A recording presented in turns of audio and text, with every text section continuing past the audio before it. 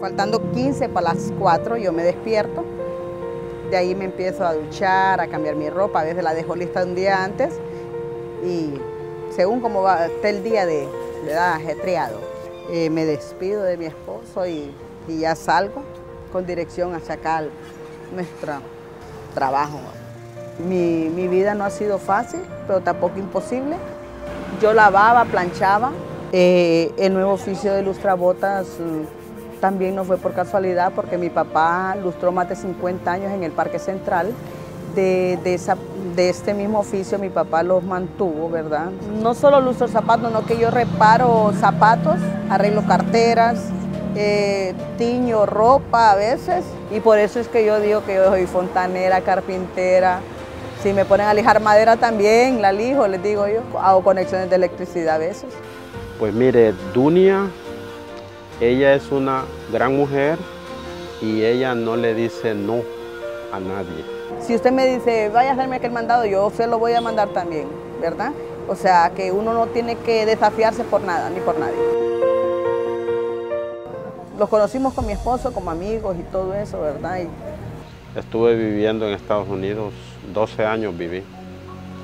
Estando allá yo sufrí de un derrame cerebral, ¿verdad? Que me dejó en la situación en la que ahorita estoy.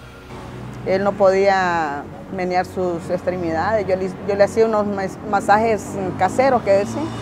Desde ese entonces eh, uso silla de ruedas y muletas para poderme mover. Pues la verdad que yo le doy gracias a Dios por la vida. Él no es que camina bien, siempre, pero se desploman sus piernas en segundos.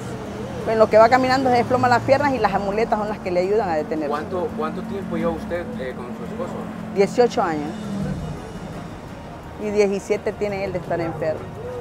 Ella es la persona que Dios me puso para que me cuidara. ¿verdad? Yo a ella, ella sabe que yo le tengo un aprecio especial como pareja.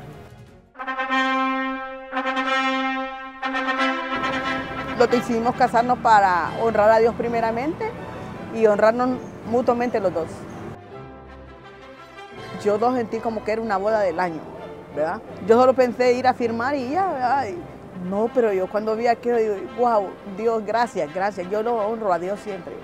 Porque hace años atrás ella me decía de que nos casáramos y yo le dije, pues haga, haga el papeleo pero no salía demasiado dinero.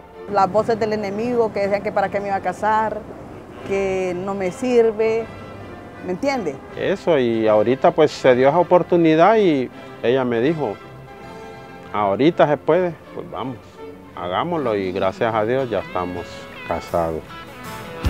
Dios me bendijo cuando te trajo a mi vida, qué paz inmensa tengo este día el amor todo lo vence, ¿verdad?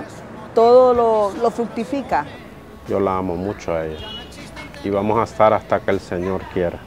Lo bendigo en gran manera y, y que sea Dios obrando conforme la gracia de Él en su salud, en la vida secular de nosotros todos. Pues el anhelo mío es mi casa, mi casa para que mi esposo viva bien, para que lo sentemos en un sofá, ver televisión, todo eso felicitar a cada una de las parejas, ¿verdad? Que, que hicieron este espacio especial, porque es un espacio especial, ¿verdad? Porque no ha sido fácil, pero tampoco imposible, pero Dios va a estar siempre alrededor de cada uno de ellos.